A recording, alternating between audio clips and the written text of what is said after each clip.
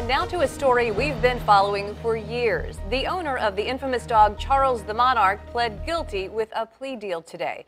Daniel Painter was in court for two separate incidents and one is still unresolved. In court today, the judge decided Painter will have to get Charles neutered, pay for any boarding fees since April, and be on good behavior for two years, including keeping the dog on a leash. Someone found Charles wandering around Norfolk in late April. He's expected to be back in court in August for that incident that